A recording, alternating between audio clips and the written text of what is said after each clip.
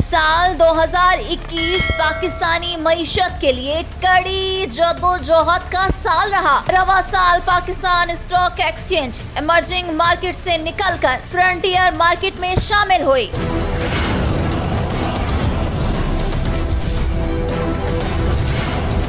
तहम बढ़ता हुआ जारी खातों का खसारा और रुपए की गिरती हुई कदर ने सरमाकारों को बेयकीनी से दो चार रखा। गैर मुल्की सरमायाकारों ने भी सैतीस करोड़ डॉलर से जायद मालियत के हिस्से फरोख कर डाले। मजमू तौर पर सरमायाकारों के 400 अरब रुपए डूबे।